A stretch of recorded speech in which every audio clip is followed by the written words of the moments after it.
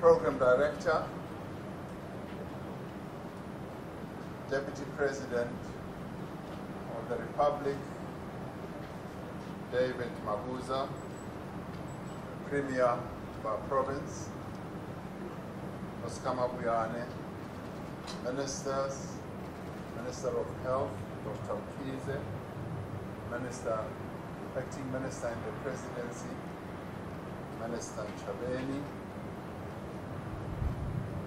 MEC Math, MEC Mvoko, the Mayor of uh, Nelson Mandela. Bay, CEO of Aspen, and all the other officials of Aspen, including Mr. Ntombela, who's about to be a doctor, who took us around and showed us everything, all officials and uh, officials of the company as well, as well as government, and all invited guests and the media who are here. I must say that uh, it's a real honor and uh, a privilege, really, to be here. The Deputy President and myself and uh, our two ministers are particularly pleased to be here today in many ways we have looked forward to coming to a facility in our own country where vaccines are manufactured.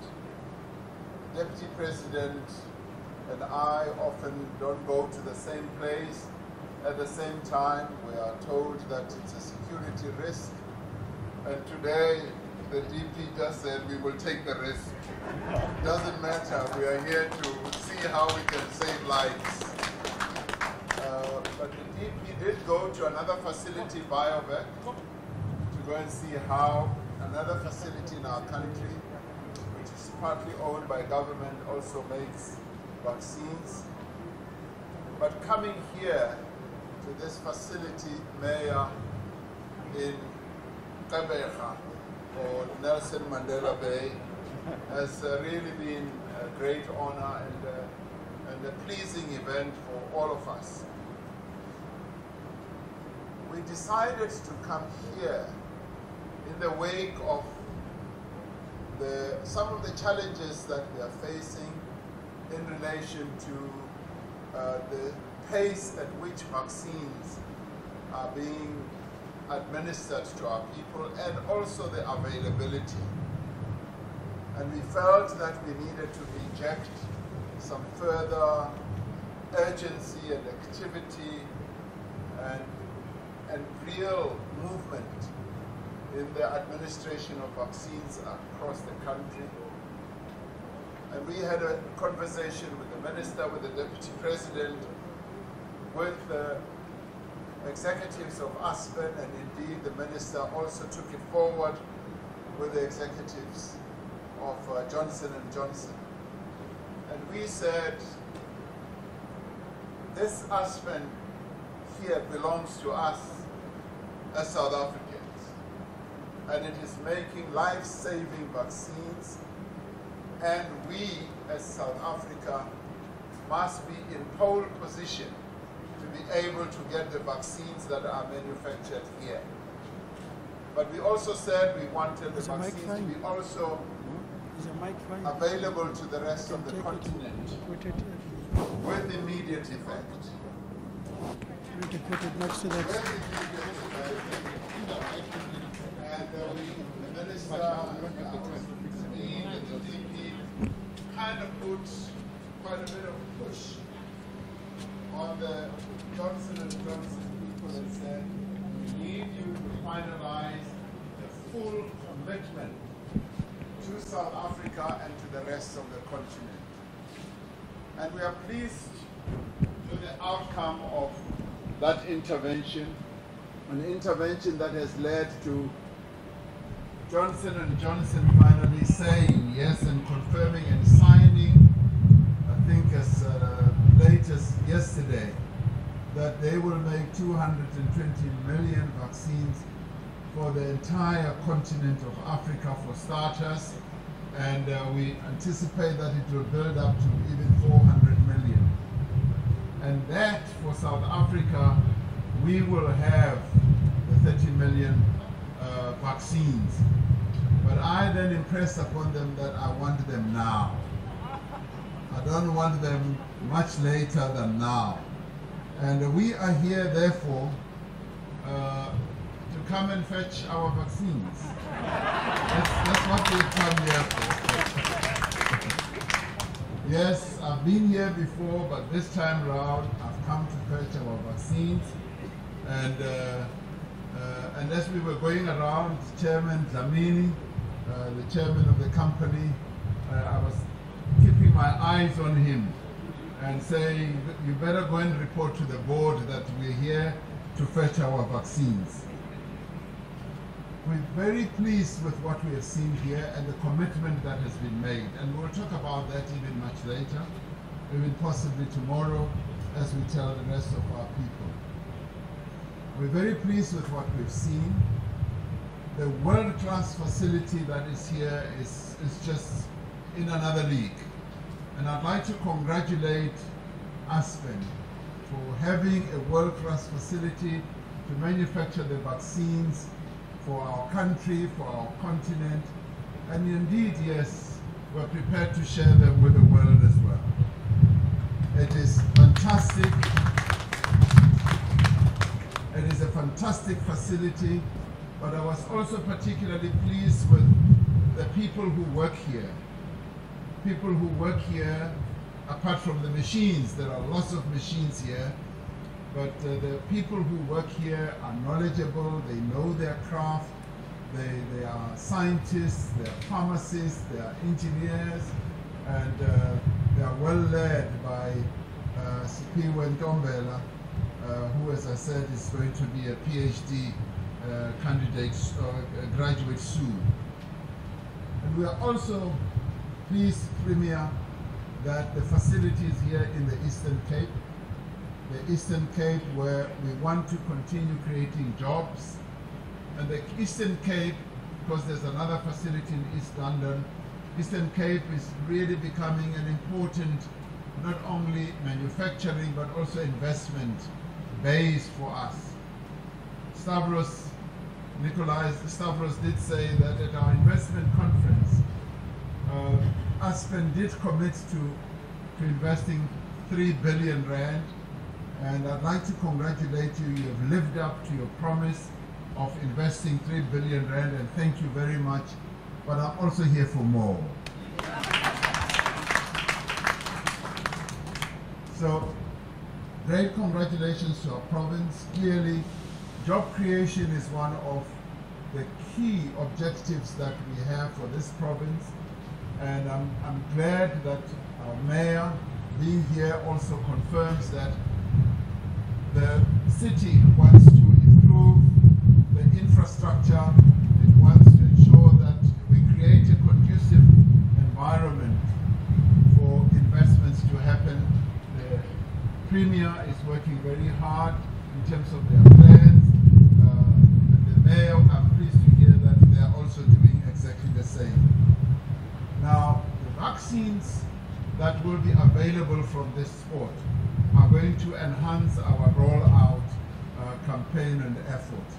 Uh, Minister Mkhize and the DP, through the Interministerial Committee, are ensuring that indeed our rollout of vaccines program works extremely well. And one of the reasons why the DP is here is to make sure that we, we really button down and, uh, uh, and he's aware of all, even the manufacturing processes that go into the rollout of, of the vaccines. Premier, I'm particularly happy to hear that the Eastern Cape is uh, ready for the rollout uh, with the MEC of Health, the MET, to ensure that the, the province does not have any challenges when it comes to rollout. The rural areas, the town areas, the townships must all be well covered when it comes to rollout. Now, the J&J vaccine uh, is going to be really beneficial to us because it's a one-shot vaccine. And that is precisely what we're going to need in the outlying areas, in the rural areas, uh, also in, in our townships. So for us, that is very important. I was very pleased to hear from Strive Masiyiwa, who we appointed when we were chair of the African Union to the uh, Africa Vaccine Acquisition Task Team. To hear him say that they had signed the agreement with Johnson and Johnson last night. Now that is going to give a huge boost to our continent, and uh, when the COVAX facility comes uh, into play, we are going to have even more vaccines for the entire con continent. Now, this is important for us as Africans that as we deal with this pandemic that has engulfed the whole world, we are not left behind.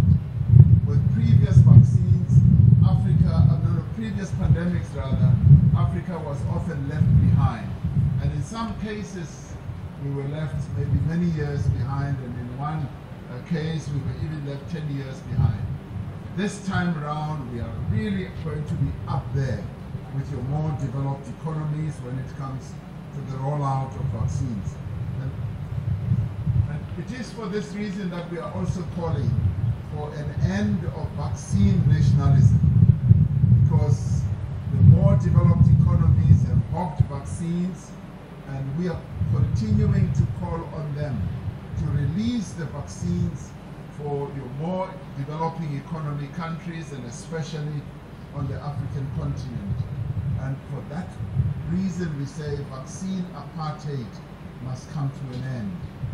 Because in the end, in the end, in the whole world, no one is safe until everyone is safe. So all of us must be treated equally across the world, and uh, vaccines must be treated as a public good, available at affordable prices right across the board. And it is also for this reason that we are calling for the World Trade Organization to waive its restrictions on enabling countries that can manufacture vaccines to be able to do so. South Africa and India and a number of other countries have been calling on the World Trade Organization uh, to relax uh, these waivers that they have and the, and, the, and the vaccines, or to grant us the waivers. So for us to be here today has really been uh, very inspiring, very uplifting visit because now we know where the vaccines are made. We've come here to confirm that Johnson and Johnson uh, through Aspen is going to make all these vaccines available uh, to us. So, Premier, your province and Mayor, your city here, your metro, is uh, going to be a life-saving province and a life-saving metro to the entire country and indeed to the whole continent. And uh, thank you for that. So we are really pleased that we've had this opportunity of seeing for ourselves how well this facility operates. And when I ask the question, where is our, where, how do we stand in relation to other facilities like this in the world? I was told that we are up there with the best. But uh, Minister Mkhize said, in fact, we set the standard. We are really up there setting the standard with the rest of the world. So it's pleasing to know that out of South Africa, we are going to be able to make vaccines that will be distributed uh, not only to our country, but also to the rest of the continent. So process of rollout then is going to gain momentum because as we heard, the vaccines from Johnson & Johnson uh, are going to start really rolling out in a few days because it is from uh, April. So from April, we're going to see uh, a change, a sea change really, in the rollout of vaccines uh, throughout the country. We will go through the first phase, and we've identified that all our health workers will go, frontline workers will go through the first phase, and the second phase uh, is going to be another group of people. I think from here on we are going to catch up lost time. The momentum is going to pick up and we should be able to meet the targets that we've spoke about. So I'd like to thank you, uh, Mr. Saad, for allowing us to come here, Premier, for allowing us to come here. This is the beginning of a new phase, an era in the rollout of the vaccines and saving lives of our people. The question was how many uh, will we get?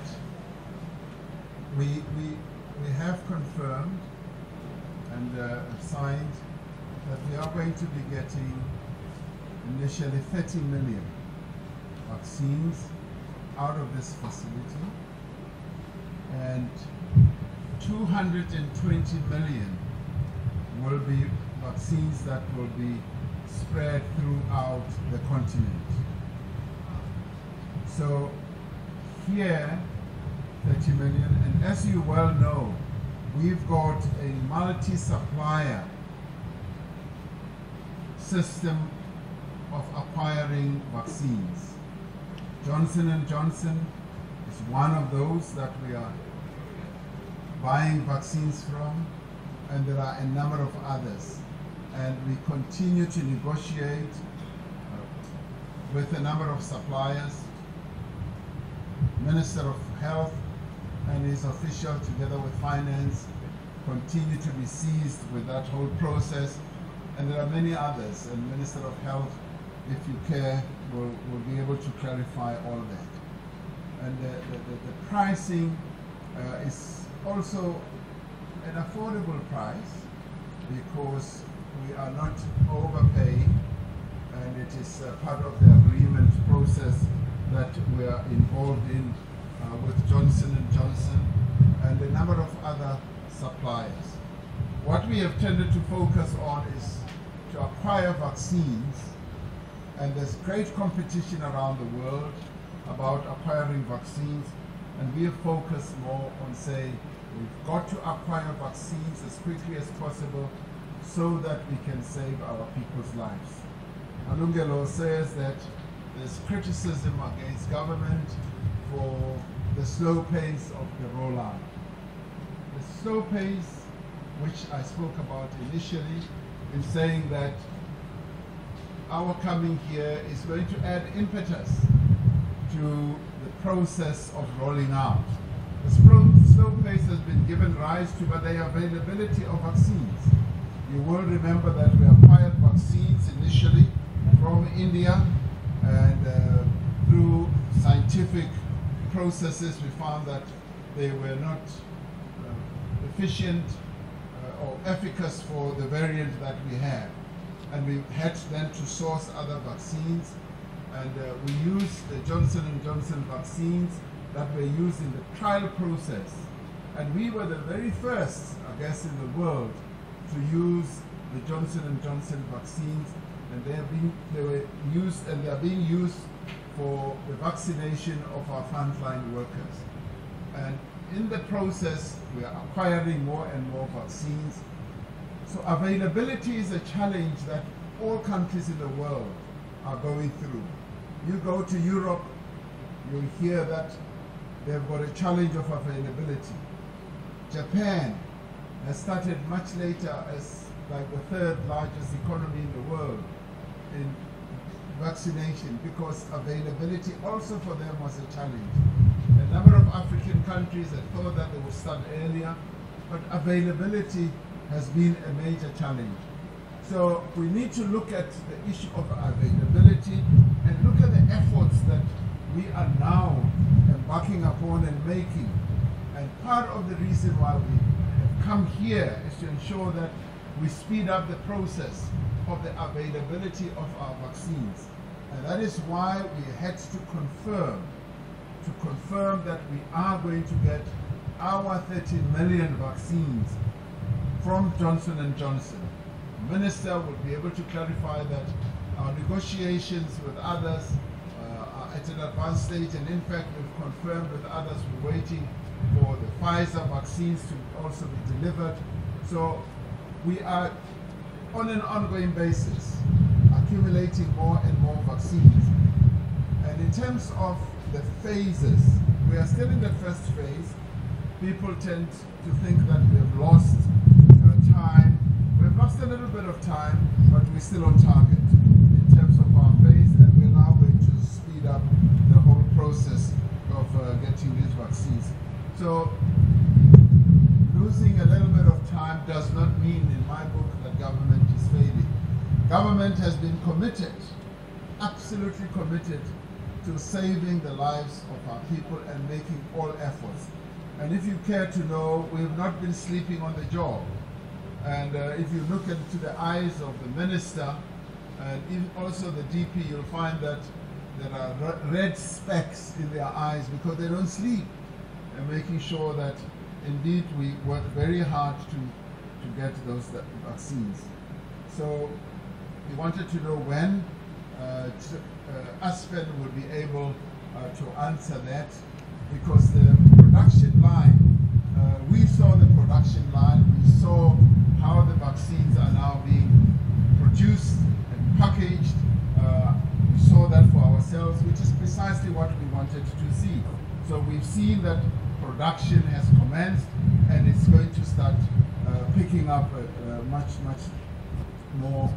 I had wanted to come a lot earlier. I'm rather glad I came now when they are now in the real action of producing uh, the vaccine. So pace is picking up and uh, we, we will be able in days because the commitment and the agreement says in April they must be able uh, to start uh, giving us the various batches. And because production of the 30 million does not happen in one day, it's going to happen sequentially and they are going to be delivering as and when that happens. Restrictions in the light of uh, uh, the fear that there might be a third wave and the light of uh, the holidays that we are going into, that is going to be finalized by the uh, National Coronavirus Command Council, which meets tomorrow, and uh, we should be able uh, to also discuss the matter with our provinces. Our premier here participates in that, and our mayor also participates. So they will be able to give us uh, the, the lay of the land in the province and tell us how we are all behaving here in the Eastern Cape and in uh, uh, in relation to whether we are observing the various protocols or not and if we find that our people are not really observing the protocols and there's a fear and a concern that there could be a further surge, then we will have to re-examine our position and say, do we need further restrictions? The restrictions that uh, we've, we've come up with have helped to curb the continuing growth and the rise of the infections. But having said that, the matter is going to be discussed uh, tomorrow by the National Coronavirus Council and we'll get a report from the Eastern Cape here and get reports from other provinces and then a decision will be taken and an announcement will then be made.